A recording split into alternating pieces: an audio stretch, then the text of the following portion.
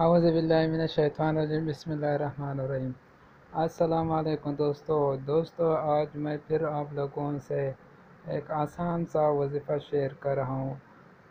हदीस में आता है कि जो ज़िक्र करता है तो उसका दिल ज़िंदा हो जाता है। जो ज़िक्र नहीं करता है, उसका दिल मुर्दा हो जाता है।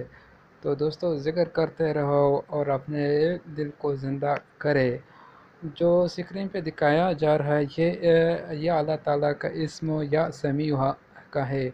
जो शख्स इस इसम को पढ़ेगा तो अल्लाह ताला उसका उसका जो भी ख्वाहिश है, वो सुन लेगा। यानी सुनने वाला जो इसको रोज़ाना सौ बार पढ़ेगा इन ताला जो उसके, जो उसकी ख्वाहिश होगी तो अल्लाह ताला उसको ज़रूर कबूल करेगा।